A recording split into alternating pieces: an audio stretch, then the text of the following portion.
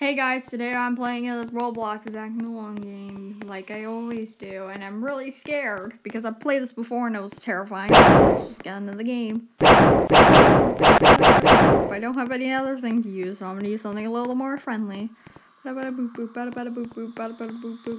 my god, this is terrifying. Ah! Oh my god! What the? Freaking. I hate this so much. Phew, he stopped, he stopped. But he's following me, so I gotta run. I'm so uncomfortable.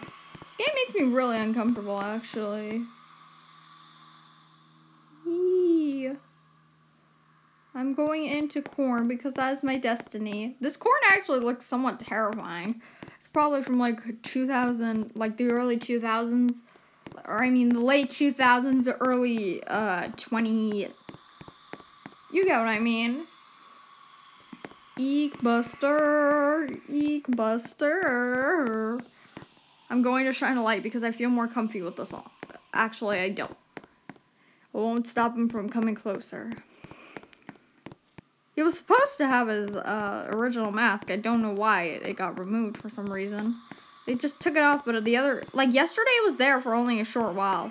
Then he went off the cliff and then he came back without it. So, where are we dropping, Busters? I am uncomfortable for horror reasons. I will approach. Horror movie people are idiots. That's how they get the horror from. That's how they don't get horror, so. Why can't I the copy? Ah! Oh my god, I hate this so much.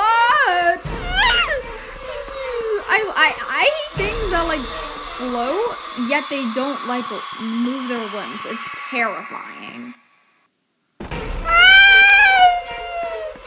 I hate when they like, when things move, but they're not moving their limbs. Especially something like this. This is nightmare fuel. Okay, I got stuck, so I'm just gonna quit recording and then go and eat. You go first now, bye.